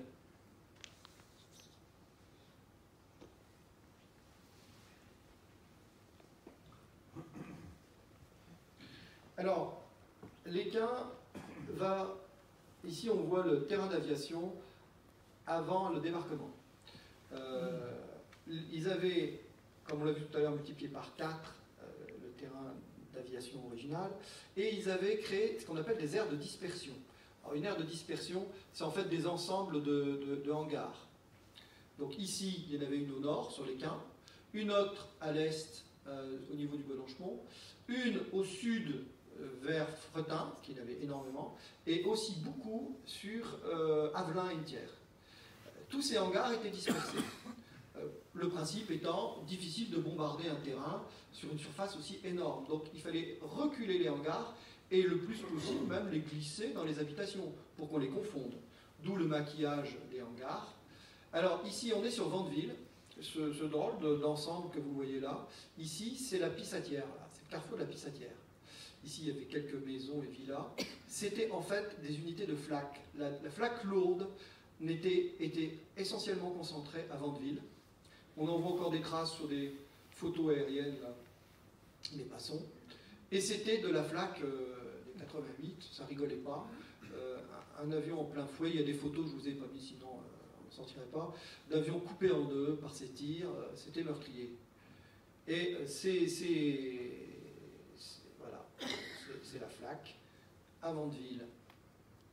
Et la nuit, eh ben, on éclaire et on tire et on utilise des balles traçantes, enfin des, obus traçants. Et il y a une deux photos qui ont été prises depuis l'Équin qui me donnent une idée. Alors j'imagine que l'exposition renforce le côté laser, mais c'était des tirs avec les phares qui doivent se mélanger, des tirs de la DCA, du chemin des Dingles, c'était le nom exact, euh, du. ah, excusez-moi. Du. euh, voilà, comme c'est impressionnant. De Vandeville, à côté de la Pissatière. Maria s'en souvient, elle dit ça faisait. Il fallait se boucher les oreilles tellement que le, vacarme était. Une photo prise depuis les quins euh, de, l'escadrille qui partent vers l'Allemagne. C'est un survol quasi quotidien. Quand les bombes ne tombent pas directement sur les quins. Ce qui va être le cas du café Freiteur, qui est ici, qui était ici. Une bombe va tomber de plein fouet, va tuer euh, le personnel, sauf une personne qui était dans le jardin, dans les toilettes, qui va survivre. Euh, la maman, on va la retrouver plusieurs jours plus tard dans le chenot de la maison en face. Et le receveur de la poste a commis l'erreur de vouloir se mettre sur le pas de la porte pour regarder les avions passer, et le pauvre va être fauché, tué immédiatement. Eu la, maison à côté, rue Jaurès, rue Fédère, mode montant, on disait que la maison de la Durand. Alors, les bombardiers, il y avait des bimoteurs qui faisaient des missions aériennes de jour, c'était les, Américains, euh, et la nuit, c'était les Anglais. Alors, des bimoteurs ou des quadrimoteurs, la B-17. Et puis, il y avait ces gros appareils qui vont aussi servir pour le transport. Et vous voyez, l'état du terrain d'aviation en 1944 s'est transformé en sol lunaire. Euh, énormément d'impact. Pour autant, peu de bâtiments détruits réellement. Parce que quand vous regardez bien, euh, ici, bah, ils tiennent encore debout les hangars. Et d'ailleurs, les Allemands vont bien avoir du mal quand ils vont partir, les dynamiter tous. Alors, en acte de, résistance, il n'y a pas vraiment eu de grands actes. Il y a Georges Basquin, à qui la commune a rendu hommage, puisqu'il avait été déporté. Il travaillait sur le terrain d'aviation. Et il avait commis des actes de sabotage en mettant euh, du sucre dans les moteurs d'avion. Donc euh, il a été euh, bah, démasqué, et puis il est mort en, déportation. Il y a eu, c'était surtout des actes de résistance dans l'information. Maurice Carpentier m'a donné le nom d'une personne que j'ai j'ai plus le nom en tête, qui travaillait dans les usines de la Thomson, Saint-Pierre, je pense que c'était la Thomson, et il informait régulièrement Londres de ce qui se passait, de tous les réseaux qui convergeaient vers lui, vers des réseaux de résistance officielle. Donc là, c'était vraiment de la résistance. Pour le reste, ça a été beaucoup de la résistance sporadique, avec des tracts euh, parachutés qu'on mettait dans les boîtes aux lettres, que relayaient les jeunes du quartier, comme euh, Émile Gaudry, qui était jeune à l'époque, euh, et, puis les résistants de la dernière heure, ça, ou de la dernière minute. Alors, je ne m'attarderai pas sur le sujet. à l'écart, il y a une anecdote qui a fait Flores, et qui en fait n'est pas spécifique à l'écart. Les Allemands, à partir de 42, 41-42, euh, leur effort de guerre est entièrement tourné vers la Russie. Ils sont en train de perdre la guerre. Ils n'ont plus autant de matériel et ils décident d'installer des avions en bois. Euh, en carton-pâte, euh, voilà, que certains y bougent même pour faire croire qu'il y a de l'activité. Et ces avions en bois, eh bien, certains vont être fabriqués à l'Équin par un menuisier de l'Équin, Michel de Gris, le papa de Michel de Gris, présent ici, euh, et d'autres euh, par des ouvriers sur le terrain, des plus gros notamment, dans des hangars, comme euh, celui-ci, qui, était, qui était plutôt sur le côté de Fachtuminil, cet, cet avion-là. Donc, et d'autres qui étaient des, des, chasseurs sur Avelin. Et une anecdote rapporte, et ça elle a été moult fois vérifiée, j'ai consacré un livre dessus, j'envisage d'écrire la suite, donc Wood for Wood, les Alliés par moquerie avaient largué des bombes en bois avec marqué dessus bois pour bois, en anglais wood for wood. Cette histoire que d'aucuns ont cru être une légende n'en est pas du tout. Euh, je me suis passionné sur le sujet, j'ai retrouvé des pilotes allemands qui en ont été témoins, des résistants qui l'ont vu, et j'ai même retrouvé ces bombes qui étaient des bombes d'exercice. Alors là où il y a une vraie énigme, c'est de savoir dans quelle mesure ces actions étaient des actions individuelles de pilotes à l'insu de la hiérarchie, ou si c'était des actions sur lesquelles la hiérarchie fermait les yeux en disant bon allez ça va s'appelle le moral des Allemands, parce qu'après tout, il y a prouvé que les Alliés prouvent qu'ils ont des services de renseignement supérieurs à leurs services de désinformation, c'est une forme de guerre psychologique, et pas plus risqué que de larguer des tracts au-dessus des villes. Même beaucoup moins risqué, car les faux terrains d'aviation, dans les zones où ils avaient été créés, n'étaient pas du tout défendus. Ce n'était pas le cas des villes. Donc, euh, et il y a une photo que j'ai pu trouver, qui est celle-ci, qui est très étonnante, sur eBay. Celle-là, je ne la vends pas. Oui, puisque je vais revendre, euh, je l'ai annoncé sur Facebook, euh, mon album, j'ai une quarantaine de photos achetées sur eBay pour les collectionneurs que ça intéresse. Je m'en dessaisis. Alors le collectionneur n'est pas forcément un historien, hein. le collectionneur je sais qu'il aime les pièces authentiques. Et euh, donc je vais revendre toutes les photos, la rue Saint-Carbo, tout ça. Et celle-là je vais la garder parce qu'elle est identifiée Grandeville. Et on voit une personne qui tient dans sa main un étrange obus en bois. Alors, euh, manifestement, euh, cette pièce-là, elle est une contribution, on va dire, au dossier. Alors, rassurez-vous, on, avance. Hein. Je ne sais pas si je suis bon dans le timing, euh, mais on arrive à la fin. Alors, la libération. En début 44, l'Équin va connaître la visite d'un autre euh, grande sommité, Rommel, qu'on voit ici à côté de Joseph Prière. Rommel est là le fameux hangar hein, qu'on a vu tout à l'heure avec le roi d'Angleterre, qui existe toujours. Ben là, il est en train de rentrer dedans. Il passe en revue les pilotes et il s'attarde sur l'avion de Priller. Alors, Priller, il avait le 13, puis il avait peint euh, sur sa carlingue un as de cœur qui était son porte-bonheur, qui apparemment lui a porté bonheur, et le nom de sa femme, le prénom de sa femme, Jutta. Bon, pensez au moins à sa femme quand ils sont envoyés en l'air. Et il y a la fameuse anecdote euh, du débarquement de Normandie. vous savez, dans le film Le jour le plus long, on voit cette scène de cet acteur euh, allemand qui joue, qui incarne Priller, et qui se, parce qu'il avait du caractère hein. il n'hésitait pas à, se, il se mettait en colère facilement, et, il était parfois à la limite de l'insubordination, il n'était pas un nazi du tout. C'était plutôt même un personnage chevaleresque dans l'esprit des pilotes de l'armée de l'air. Et euh, il va devoir décoller depuis l'île, et il dit? Pour aller mitrailler les, les plages de Normandie. Il ne restait plus que deux parce que l'escadrille avait été rapatriée dans les, terres intérieures et n'était pas en mesure d'intervenir. Et donc il y a ce dialogue que vous avez peut-être dû voir dans le film. Et euh, il se disait, moi quand j'étais gamin, que bah euh, oui, il avait décollé depuis les Quins. Or, renseignement pris, il n'a jamais décollé depuis les Quins, mais il a décollé euh, depuis l'île Nord, qui était en fait bondue. Parce que vous avez vu dans quel état était le terrain d'aviation de l'Équin, ça devenait très risqué de rester à l'Équin, et à Bondu, il y avait beaucoup d'avantages, que c'était toute la verdure, il n'y avait pas de piste bétonnée, mais on était plus en sécurité. Et donc il a décollé depuis Bondu. Or, euh, étonnamment, euh, quand on regarde la perspective des hangars, euh, ça rappelle bien, parce qu'il n'y a pas du tout cette perspective-là à Bondu, les, hangars de l'ECA. Et j'ai eu le fin mot de l'affaire par Miron Cuich, qui était un officier mécanicien à l'ECA, qui lui avait suivi avec beaucoup d'intérêt le tournage du film, Notamment, ils avaient essayé de tourner dans le blocos de Tourcoing la fameuse scène Les sanglots longs de mon cœur, blesse, etc. Et parce que le réalisateur, euh, Donald, euh, je ne sais plus son nom, Zanuck, euh, voilà, voulait tourner le maximum de scènes dans des lieux historiques et si possible avec des personnages historiques. Or, ils auraient effectivement tourné à l'écart. Ils auraient tourné à l'écart parce que quand ils sont arrivés, alors déjà à Tourcoing, les caméras ne passaient pas dans le, bunker de Tourcoing, donc il était furieux, donc il a dit bah, tournera un studio. Et quand il arrive à, Bondu, il n'y a aucun hangar qui a, la, perspective, il n'y a pas de piste bétonnée. Donc il est déçu. Et Miron Cuich, qui s'était incrusté là-dedans, euh, fait savoir au réalisateur qui n'était pas Zanuck, mais un autre qui faisait des scènes spécifiques allemandes. Il s'était partagé la réalisation. Et il lui dit, mais à l'écart, on a des hangars, venez, il y a tout ce qu'il faut. Et il serait venu effectivement à l'écart, voyant qu'il y avait les hangars de l'Erala, que l'on voit derrière, avec les fameux carreaux, et euh, de grands volumes permettant aux caméras euh, débarquant en camion de s'installer et de prendre des prises de vue.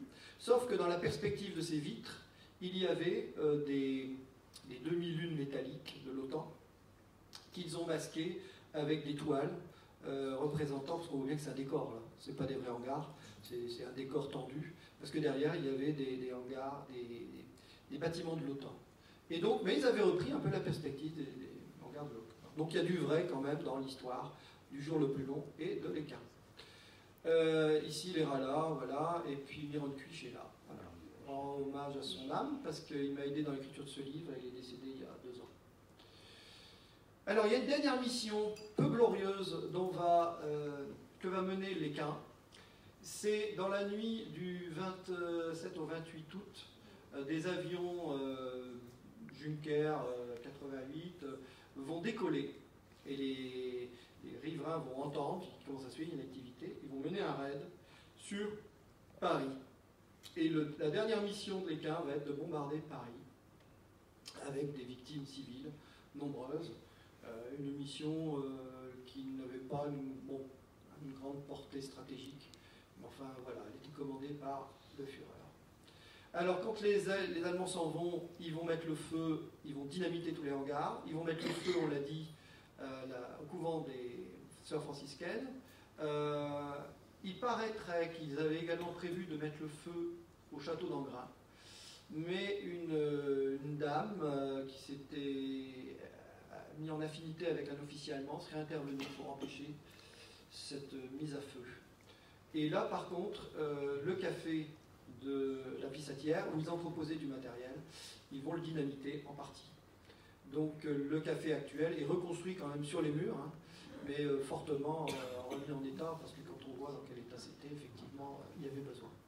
Et les Alliés, qui ne sont pas les Américains, parce qu'il s'est parfois dit que les Américains arrivaient, non, ce n'étaient pas les Américains, on confondait les Américains parce qu'ils avaient des étoiles blanches, et tous avaient des étoiles blanches, tous les Alliés. C'était leur emblème de reconnaissance vu du ciel.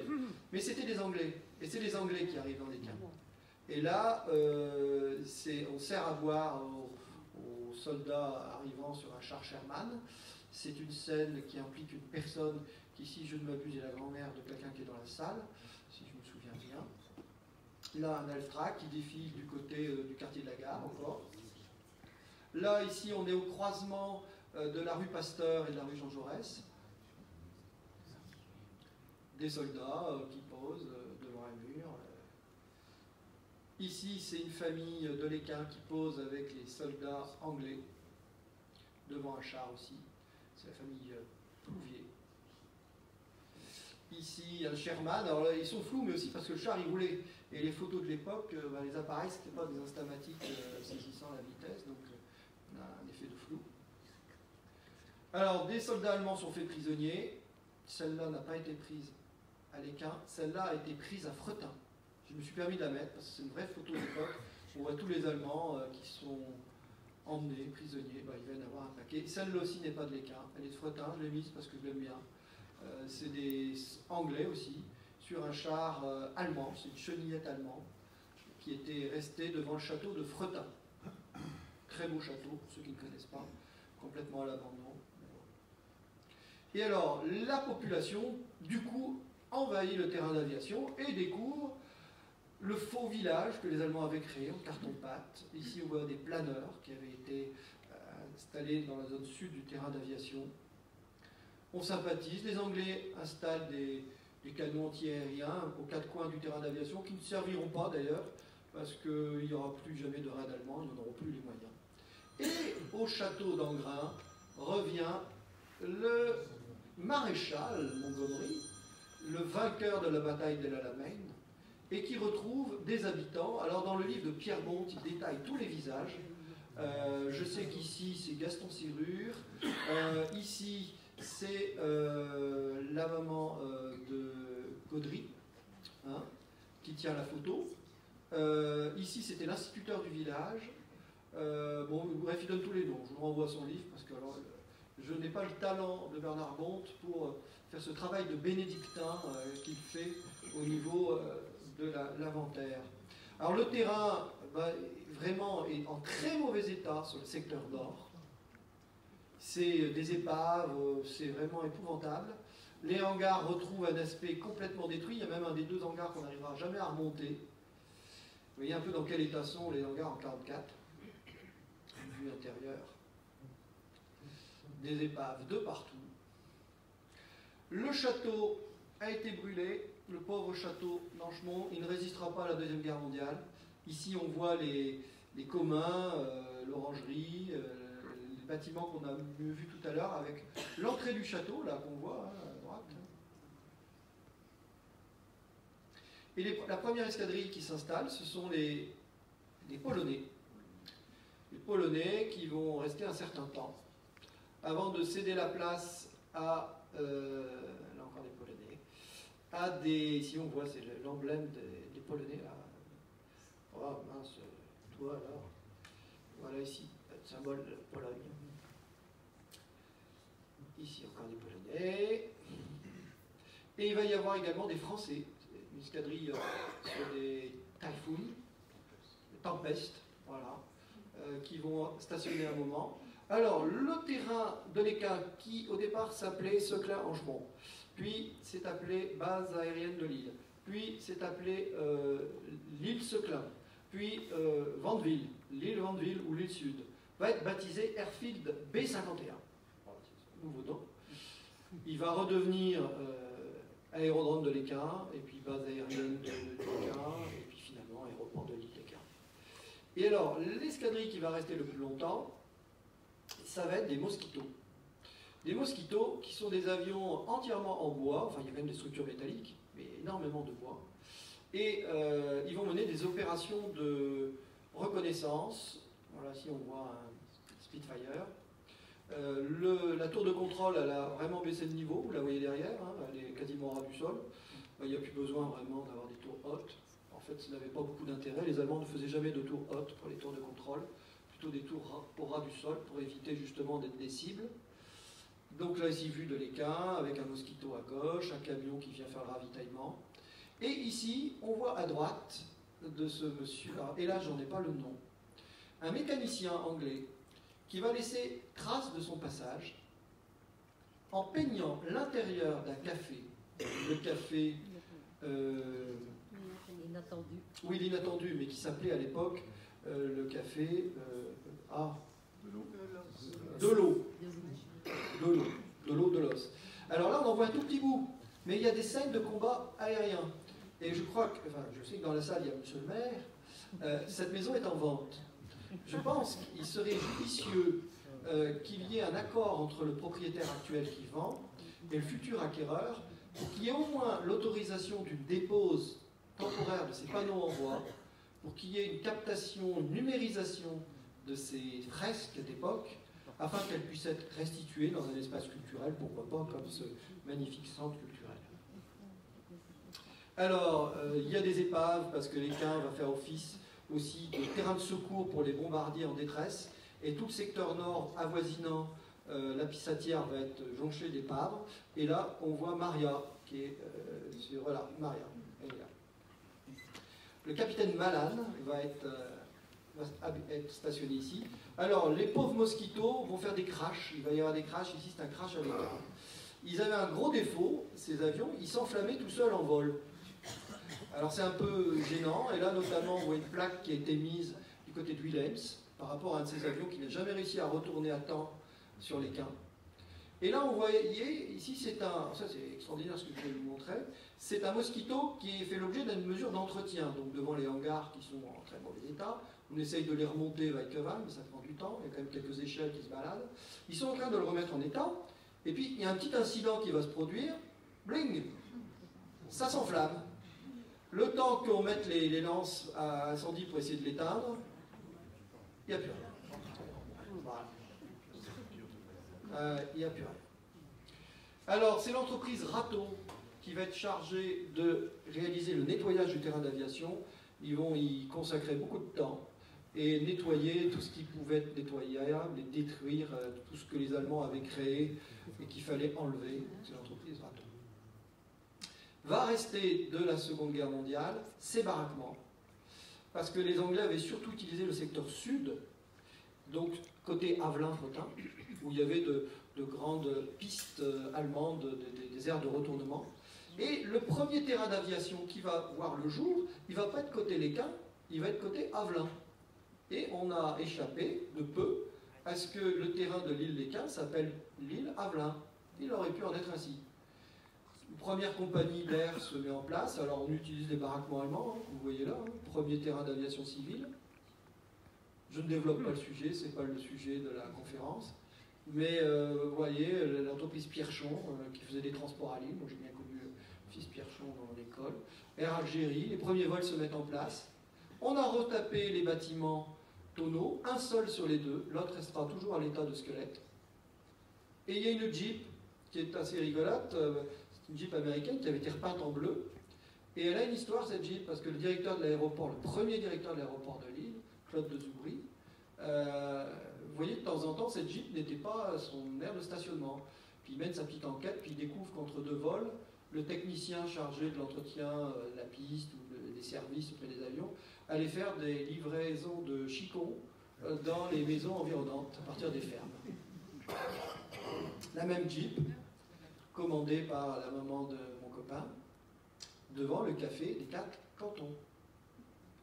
On vient se rendre sur ce terrain d'aviation, et notamment ici, il y a une personne de dos qui était, je ne vais pas en faire l'historique, mais euh, elle, est très liée au café de la bascule, parce qu'elle euh, va boire son café, elle était venue de Normandie pour réparer un avion américain, elle était le seul technicien à même de le faire, Et puis il va aller boire son café, au café de la bascule, je vous recommande d'aller boire votre café, ce café est merveilleux, comme on n'en fait plus. Et euh, ben, il va avoir un coup de cœur, non pas pour cette dame charmante qui est Gisèle de, Lobry, qui était secrétaire de mairie, qui va beaucoup m'aider dans mon livre, je voudrais lui rendre un hommage appuyé aujourd'hui, et qui est allé, tous les cas allaient se promener au terrain d'aviation, c'était un lieu de villégiature, c'était un lieu fascinant. Mais elle, voilà, euh, c'est la sœur de Marcel qui est dans la salle, qui va épouser un ingénieur, un technicien, un mécanicien aéronautique, qui du coup va euh, rester dans le Nord. Et là, des avions bon, vont commencer à venir petit à petit dans le secteur sud. Et puis on va créer des lignes officielles et on va finir par créer dans le secteur nord le fameux aéroport en 1960 et quelques, qui va être en réalité à moitié sur le territoire de Vandeville. Donc là encore, l'aéroport de Lille, après avoir failli s'appeler Lille Avelin, aurait pu s'appeler Lille Vandeville. Mais heureusement, in fine, ils vont construire l'actuel aérogare qui est sur le territoire de Léquin. Donc le titre Lille Léquin n'est donc point indu, sachant quand même que les deux tiers des pistes sont plutôt sur Fretin. Donc les Frettinois aussi réclament des fois l'aéroport pourrait s'appeler l'île Fretin. Et je termine mon exposé par cette photo que je trouve euh, interpellante. On y voit euh, à gauche un hangar qui existe toujours, conçu en 1935, qui a vu défiler euh, des personnages historiques, que dont j'en ai cité certains. Et au fond, euh, ce, nouvel aérogare, extraordinaire perspective architecturale, comme une flèche pointée vers le ciel et vers l'avenir. Et je sais qu'il y a des grands projets de développement sur cette zone. Moi, je dis à chaque fois, je formule le vœu qu'on ait une pensée pour le patrimoine et qu'on ne rase pas une fois de plus en disant il faut de l'espace, il faut de l'espace, on va créer une gare, on a besoin de faire des.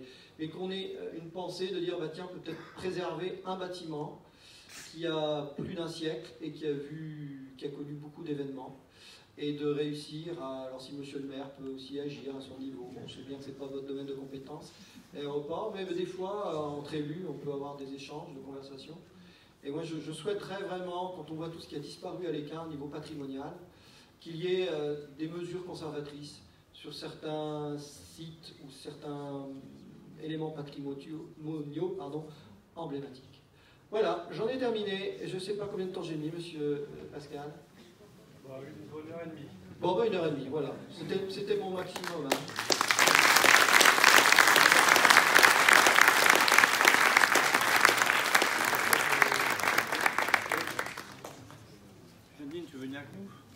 Bah, si tu me le demandes. Bah, oui. Hein. Bonjour, ça va bien. Bon. Euh, je. Ouais, je pense que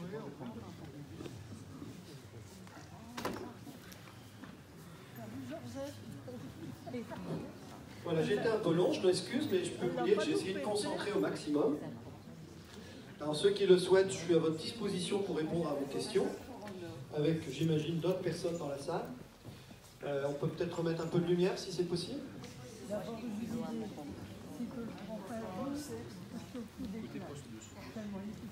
Voilà, donc comme je l'avais dit à Pascal, pour moi c'était plus une projection commentée. Parce qu'une conférence digne de ce nom suppose un travail d'investigation et de recherche considérable. Vous donner des noms avec précision, d'unité, ce qui n'était pas mon propos. Là, je voulais juste vous faire un petit voyage dans le temps et dans l'espace pour que vous ayez une perception quand même de ce qu'a été l'impact de la Seconde Guerre mondiale sur le village de l'Équin. Ça m'a obligé un petit peu déborder sur ce qui a précédé la Seconde Guerre mondiale, et puis un petit peu faire un clin d'œil à ce qui a suivi la Seconde Guerre mondiale. Je suis à votre disposition. Euh, ben moi, je voudrais qu'on applaudisse une seconde fois notre ami euh,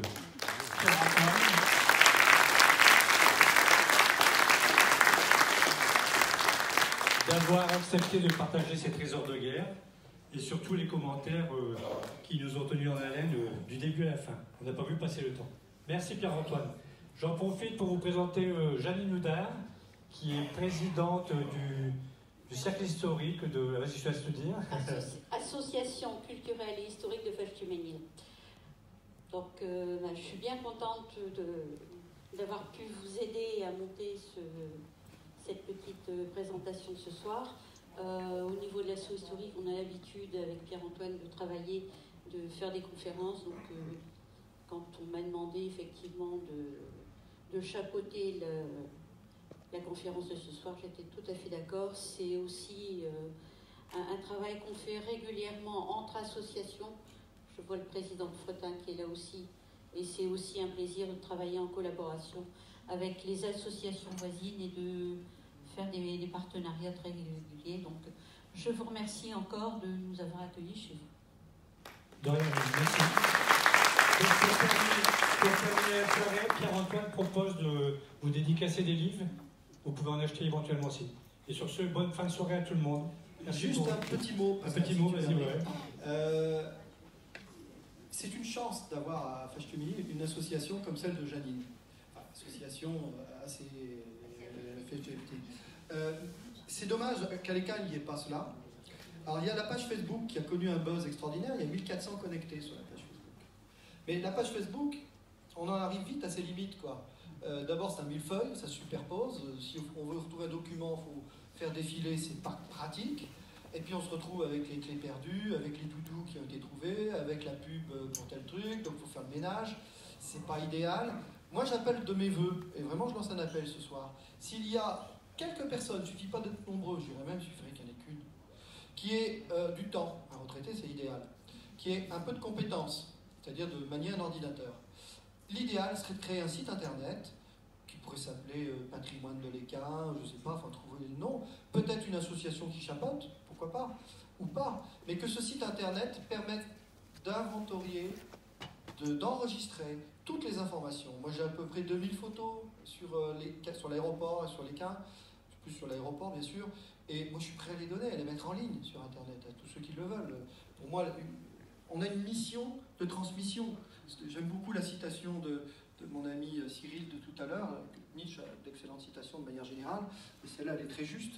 Et euh, effectivement, un site internet avec des onglets, les cas industrie, même les cas La Thompson, les cas N Saint-Pierre, les cas 14-18, euh, les cas euh, aéroport, hein, je vous donnerai tout, euh, les cas, les majorettes, les cas... Bon, un site internet où il y a des petits forums sur des thématiques, où les documents photos s'enregistrent, c'est l'idéal. C'est vraiment l'idéal. Et maintenant, on est de plus en plus dans le patrimoine numérique. Quand une commune réussit à sauver un bâtiment, c'est merveilleux, miraculeux, des fois en fonction des pressions foncières. Mais déjà dans le numérique, on peut prendre son pied. Excusez-moi, mais au niveau historique, on est un certain nombre dans la salle à, être souvent dans l'étude des clichés de l'IGN, dans les archives en ligne euh, du Nord. Et euh, être un historien, c'est un, voyageur du temps, ce que disait euh, Cyril, et c'est aussi être un chercheur, un explorateur, qui mène une enquête, qui résout des énigmes. C'est passionnant. Alors, certains ont la passion pour les mots croisés ou pour d'autres. Ben, d'autres, c'est l'histoire. Et à ce niveau-là, l'intérêt de l'histoire, c'est que ça peut être transmis et ça peut être œuvre utile. Donc, s'il y a dans la salle des personnes qui se sentiraient éventuellement concernées, motivées, n'hésitez pas à nous contacter. Il y a mon ami Hervé Thiebaud du Café de la Bascule, nouvelle pub pour toi, euh, place de la gare, euh, que vous pouvez toujours contacter, pousser sa porte. on est en lien couramment par téléphone ou Internet, plus par téléphone que par Internet d'ailleurs. Et je pense que là, il y aurait un vrai gisement, une vraie opportunité. Voilà, juste ce que je voulais dire. Moi, j'aurais une dernière question. Tu es en retraite dans combien de temps, euh, J'habite Joyeuse, la bien nommée, en Ardèche. Alors certes, par la magie numérique, on peut aussi s'intéresser à des sujets éloignés, voire même de l'autre côté de la Terre. Mais euh, franchement, je pense qu'il vaudrait mieux quelqu'un... Moi, je, ferai partie de cette dynamique, bien sûr. Je suis en retraite dans 5 ans, mais il euh, ne faut pas attendre 5 ans. là, la dynamique du, du Facebook, elle est intéressante. Passer de 400 à 1400 en combien de mois? En 6 mois. Donc je pense qu'il ne suffit pas beaucoup de personnes, il suffit de deux ou trois, euh, même je dirais une, une personne qui adore ça et qui a du temps. Et Janine à côté de moi dit euh, la, la, est prête à aider. Et puis Pascal, je crois qu'il y a un club Euh, photo non, aussi. non, je suis pas prêt. Non, toi, Non, t'es non, pas non, prêt. je. Toi, la cour est pleine. La cour est pleine. Mais il y a un club photo, je Mon crois. agenda est rempli jusque. Je Il y, a, ne sais pas. il y a un club photo à Oui, l'écart. tout à fait, oui. Donc peut-être dans le club photo, il y a des gens qui ont la passion des photos anciennes, je sais pas. Enfin, il y, a, il y a des bonnes volontés qui devraient se retrouver. Euh, moi, je serai, je vous le dis, demain à 10h30 au Café de la Bascule, pour ceux qui sont intéressés de voir les, les photos que je, dont je me dessais- dessaisis. Et éventuellement, on peut discuter euh, sympathiquement autour d'un café ou d'une bière de cette éventualité. Voilà. Merci pour euh, cette réflexion. Bonne soirée à tout le monde. N'hésitez